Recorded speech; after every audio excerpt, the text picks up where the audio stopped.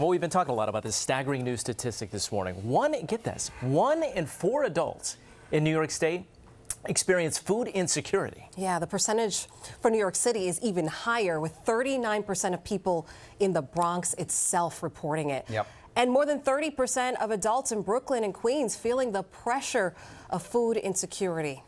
Joining us now is Dr. Camesha Grant, the VP of Community Impact and Investment at Food Bank for New York City. Hi, Dr. Grant. Dr. Grant, when you see these kinds of numbers, what, what comes to mind?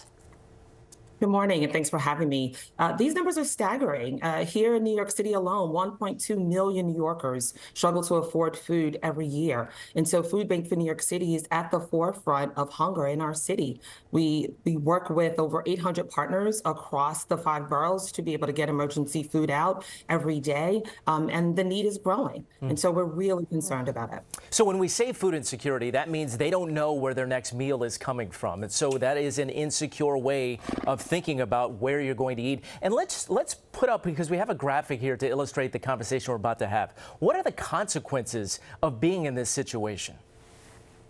Yeah, so food insecurity is exactly that. Uh, there are limited limited resources, and uh, people who don't have enough money really are struggling to be able to afford adequate food for their families, and that's the key word. We want to make sure that every New Yorker has enough food to be able to survive. Um, some of the consequences that we know is that insecure, food insecure New Yorkers are at higher risk of chronic health diseases. And so we're talking about very serious diseases, cancer, hypertension, diabetes, mm. um, coronary heart disease. And so it's really um, concerning because many New Yorkers who struggle to afford food are also struggling to connect to health insurance. And so that's really alarming. And Dr. Grant, we know some of this is, is what you can afford to buy, but some of it is your proximity to these things at all. If there aren't supermarkets near you, if there's only bodegas near you, and you can't get get a good supply of fresh food.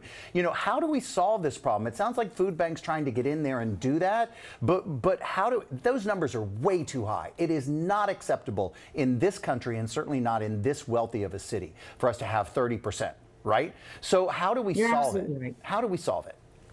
Yeah, so Food Bank for New York City is meeting the need where it is on the ground. We are doing that in a number of ways. I talked about working with our 800 partners across the five boroughs who are getting emergency food out every day. We have our trucks on the road that are driving food directly into the communities that need it most daily. We are also working with strategic partners like hospitals to be able to meet patient needs. And so when a patient comes into a hospital mm. setting, and they attest to food insecurity, uh, we want to make sure that they are able to get access to food right there so where they smart. need it. So smart. Yeah. Uh, Dr. Grant, um, I started my career in the South Bronx, and um, it's almost 20 years ago.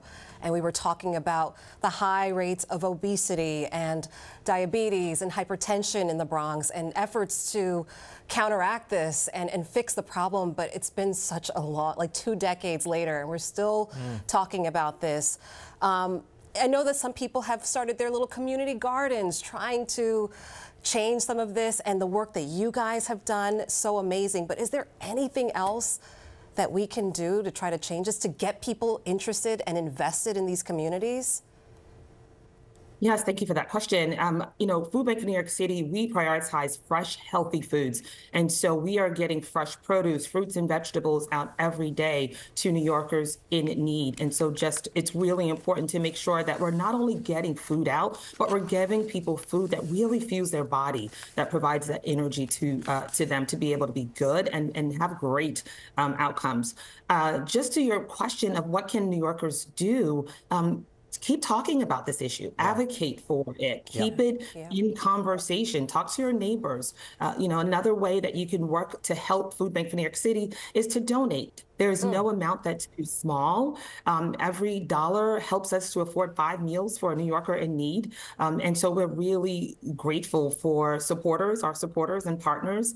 Um, and I think lastly, volunteer, get involved. Oh, I like that. Uh, you know, we we use volunteers to really be able to meet this need on the ground. And so you can go to our website you can sign up and learn more about how to volunteer and really get involved with this fight. That's great. Grant, thank you so much Amazing. for spending some time with us because we appreciate that conversation